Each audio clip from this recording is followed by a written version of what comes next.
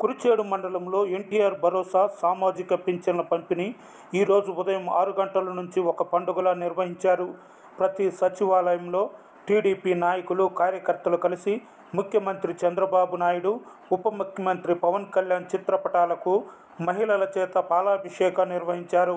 ఎన్నికల హామీలో భాగంగా పెంచిన నాలుగు వేల పింఛన్తో పాటు ఏప్రిల్ మే జూన్ నెలలకు సంబంధించిన మరో మూడు వేలు కలిపి ఏడు వేల నగదుతో పాటు ముఖ్యమంత్రి సందేశము రసీదులను ఈ సందర్భంగా పింఛన్దారులకు పంపిణీ చేశారు.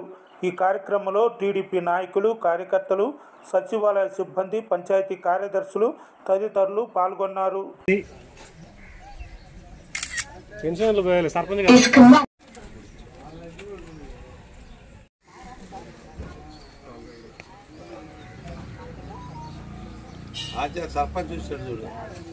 అమ్మాయి ఆ, సార్ సర్పంచ్ అబ్బాయి ఎవరికైనా పింఛన్ వచ్చే వాళ్ళకి డబ్బులు ఇస్తా